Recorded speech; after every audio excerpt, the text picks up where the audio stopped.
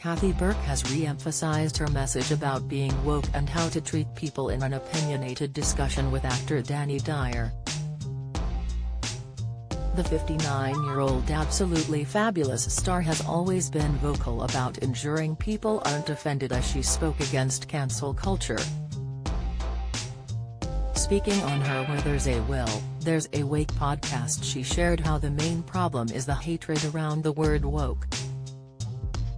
On the episode Here Lies Danny Dyer with the EastEnders actor, 45, they spoke about his ideal funeral before moving on to a debate about their everyday language. The longtime collaborator with Harry Enfield stated she had used the word bird to describe a woman when Stephen Graham corrected her. Rachel Riley quips we haven't changed a bit as she reunites with Countdown co-star she added that she calls people babe and sweetheart naturally, which she didn't see as a problem. Me and you referring to ladies as birds and treacles, that's not abusive, I don't think. Sick, Danny agreed and confirmed that it's about intent.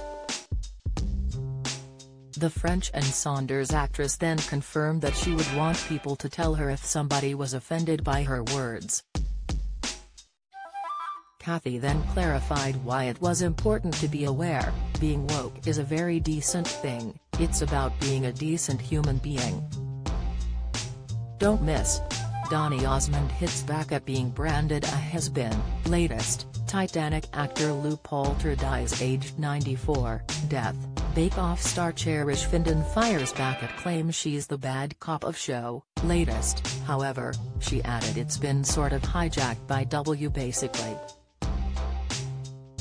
Kathy confirmed that you learn to choose your words wisely. Sick, last year the celeb tweeted to her 549,600 followers, I love being woke. It's much nicer than being an ignorant what. One fan commented, always an important message, to which she responded, now more than ever. Another added, and the woke part of the world, which is pretty big now, loves you back. Earlier this year, in her Channel 4 documentary series Kathy Burke, Growing Up, she encouraged young people to be woke and called out those using it as an insult. Kathy said, I think activism is a part of being young, and it's important that the young show us what they're pee off about. It's not a fad and it's not wokeism. She continued, they're calling you woke if you call out bad things, basically. If you're not racist, you're woke. If you're not homophobic, oh, you're woke. Be woke, kids. Be woke. Be wide awake and effing call it out.